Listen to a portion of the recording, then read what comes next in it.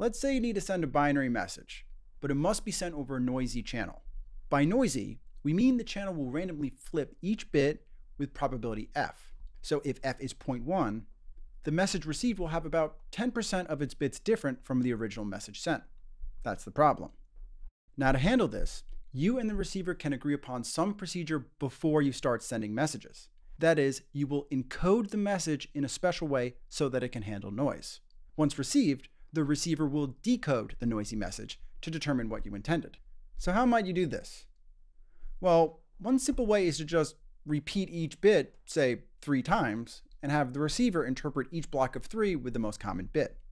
In our example, this means we'd encode our original message as a redundant string, repeating each bit three times. The encoded message is then passed through the noisy channel, which flips some bits. Now, the receiver knows we're repeating bits three times, but doesn't know which bits are flipped. So they interpret each chunk of three as the most common bit, since that's the most likely intended bit. So the first three bits are all ones, so that's interpreted as a one. The second chunk has two zeros, so that's read as a zero. And this continues. Now, if we compare the original and decoded messages, we see we've made no errors. In general, over a lot of messages, this strategy creates fewer than the 10% errors we'd expect if we just sent the original messages straight through. But errors can still happen.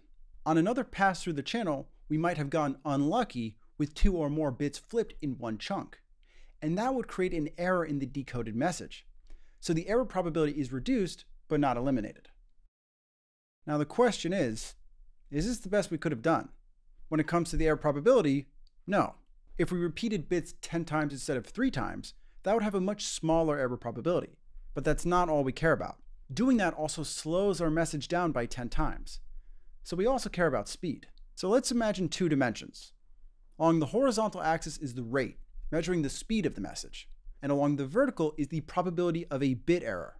I'll define these terms exactly in a second, but first, let's label the coding strategies. We say RD is the coding strategy where we repeat each bit D times, and the receiver reads the most common bit in each size D chunk. Earlier we saw R3 and talked about the slower but safer R10. Also, R1 is the no coding strategy. That's where you just send the message straight through. Now we can place these. R1 goes here. It has a rate of 1 and a bit error probability of 0.1, which is the channel's flip probability. For this to make sense, we need to define the axes. The probability of bit error is the average probability a decoded bit does not match the intended message bit. This is what we were bringing down earlier. Next, the rate is the ratio of the original message length to the encoded message length, which is a relative measure of speed. For R1, no encoding, that ratio is 1. For R3, it's one third because we're encoding the message as something three times longer.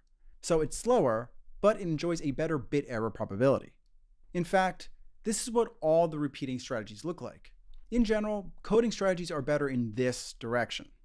Okay, now here's the literal trillion dollar question. Out of all coding strategies, what region in this space is achievable? That sounds hard. We need to consider all possible coding strategies. Damn. Well, here's a reasonable idea. Whatever the separation is between achievable and unachievable, it goes through the origin. So maybe it looks like this, or this, or this. Whatever it is, the separation goes through the origin. Meaning, if you want an extremely small error probability, you'll need to suffer extremely slow rates. Seems totally obvious, and yet is totally wrong. In 1948, Claude Shannon surprised everyone by proving it looks like this, where this length is known as the channel capacity C, and it's what makes this result remarkable. What this says is you can communicate at an arbitrarily small bit error probability at a rate up to the channel's fundamental limit C. Consider our example with flip probability 0.1. That means the capacity is about 0.53, which comes from an entropy calculation, which I won't get into. Okay, now suppose we make the ridiculous demand of a bit error probability of 10 to the minus 25, an extremely small number. How slow will we have to send our messages? Shannon says, hey, as long as it's not zero, there are coding strategies out there that will get you up to a rate of 0.53. So you only need to double the message length. And then you say, wow, that's great. What's the coding strategy? And Shannon says, I don't know, but they're out there. You figure it out. This is what was shown in Shannon's 1948 paper, A Mathematical Theory of Communication. The significance of this paper is hard to overstate. Not only because he proved what we just saw, but because Shannon realized this simple case generalizes to all forms of communication. And so, his paper unleashed the promise of error correcting codes that digital information could travel across broken, messy physical systems with essentially no corruption at tolerably fast rates. This video you see, the sound of my voice, anything you download, virtually all digital information you interact with, none of it originated where you're sitting, all of it passed through a flawed channel, but yet all of it manifests perfectly as intended. That's what he showed was possible. Okay, we're all very impressed now, but a skeptic knows to ask, what's the trick? Whenever a mathematical statement looks magical, it never actually is. So what's going on? Well, before I get into that, I have something else to offer. If you like my educational content, you can find more of it at my website, True Theta. There, I have articles on a range of topics in machine learning and statistics. If you like this channel, you'll probably like this site as well. Writing is easier than video production, so this is going to help me communicate more information faster. Shannon would understand. Also, True Theta is my applied math consulting business. So if you're at a company that could use some help developing algorithms, whether that's for general machine learning or forecasting, causal inference, dynamic pricing, or something related, you can reach me from this site. Okay, back to it. To extinguish the magic regarding this region, we have to know that a coding strategy is going to take the original message, break it up into chunks of some size k, encode them as redundant chunks of some larger size n, and then pass them through the channel. And this will have a rate of k over n.